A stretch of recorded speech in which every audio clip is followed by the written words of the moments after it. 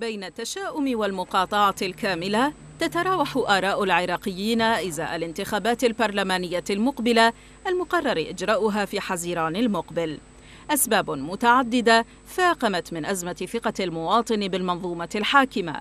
أبرزها استشراء الفساد في جميع مفاصل العراق ما بعد عام 2003 فلا بوادر أمل بولادة تغيير حقيقي تلوح في الأفق القريب يقول الشارع العراقي.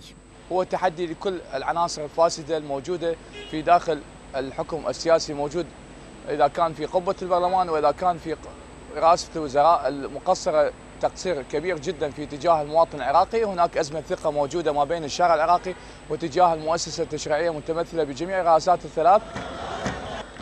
الانتخابات المبكرة النزيهة كانت وما زالت إحدى أبرز المطالب التي رفعها متظاهرو ثورة تشرين لكن بشروط واضحة.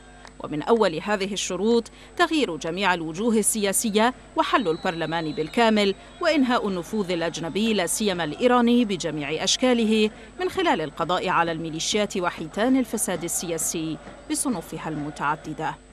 مطالب لن تتحقق بحسب جميع المعطيات على أرض الواقع ففي الوقت الذي أقر فيه البرلمان الحالي قانون الانتخابات الجديد بصيغته التي تعتمد الدوائر المتعددة تتحدث قوى سياسية عراقية مختلفة عن حراك برلماني لكتل عديدة من أجل الطعن في القانون والمطالبة بتعديله في محاولة لتأجيل موعد الانتخابات التي يحوم حولها شبح الفساد والتزوير المبكر.